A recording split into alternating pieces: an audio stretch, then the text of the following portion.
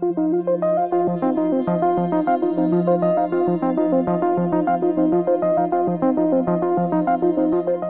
everybody, and welcome to Space Week for Monday, October 14th, 2019. This past week there were two rocket launches and a spacewalk. On Wednesday, an ILS Proton rocket launched the Eutelsat 5 West B and MEV-1 satellites. Eutelsat 5 West B will replace Eutelsat 5 West A in geostationary orbit, providing digital and television services in France, Italy, and Algeria.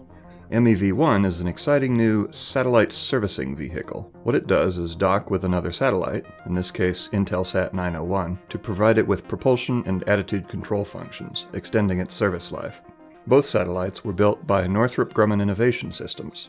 The Proton M rocket with Breeze M upper stage was built by Khrunichev State Research and Production Space Center in Moscow and sold by International Launch Services, a joint venture between Lockheed Martin, Khrunichev, and Energia that's headquartered in Virginia with exclusive rights to the worldwide sale of commercial launches of Angara and Proton rockets.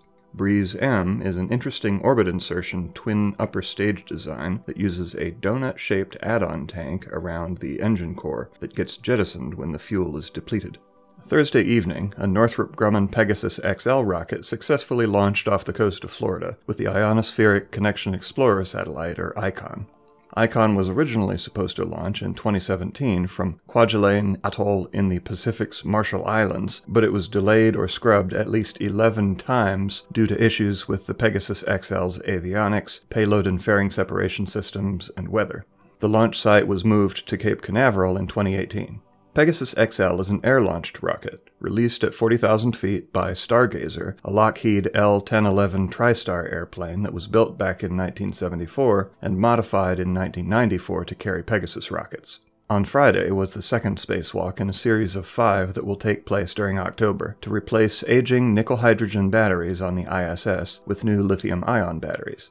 NASA astronauts Christina Koch and Andrew Morgan spent about six and a half hours outside the ISS, taking the half a refrigerator sized battery from the Japanese HTV 8 spacecraft's unpressurized logistics carrier and installing it in the space station's P 6 truss.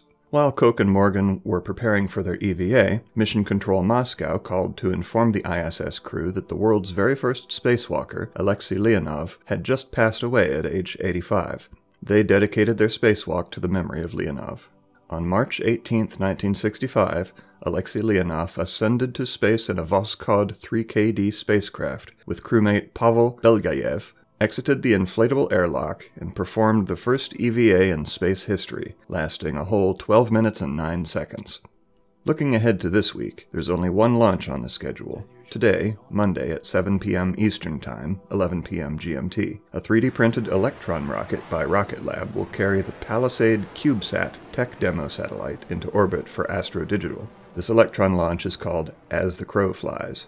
Then on Wednesday, starting at 6:30 a.m. Eastern, 10:30 GMT, is another spacewalk to replace the space station's batteries, this time with Jessica Meir and Andrew Morgan. The spacewalk and the rocket launch will both be live streamed here on Raw Space. That's it for this week. Thanks for watching. As always, feel free to like, subscribe, and activate notifications if you don't want to miss anything.